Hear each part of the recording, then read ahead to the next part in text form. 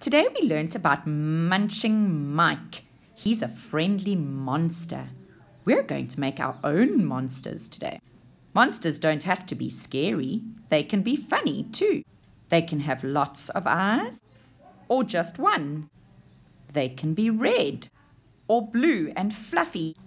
This one even has silly long legs. Take out your Me at Highbury book and look through it to find the worksheet that we have stuck in for you with the monster on. Here is the worksheet we're going to do together. And it says, Can you make your own munching Mike monster? I've put some eyeballs there for you. Now I want you to create a monster, the most amazing monster you can think of.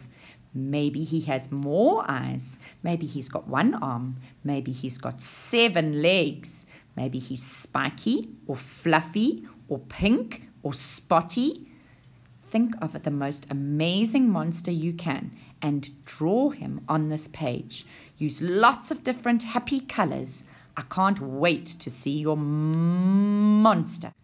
Marvelous monsters, boys. Well done.